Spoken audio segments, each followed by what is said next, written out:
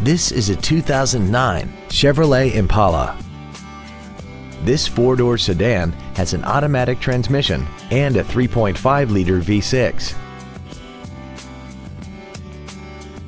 Features include a low tire pressure indicator, a power passenger seat, cruise control, side impact airbags, latch-ready child seat anchors, air conditioning with automatic climate control, traction control, an anti-lock braking system, a keyless entry system, and this vehicle has less than 34,000 miles.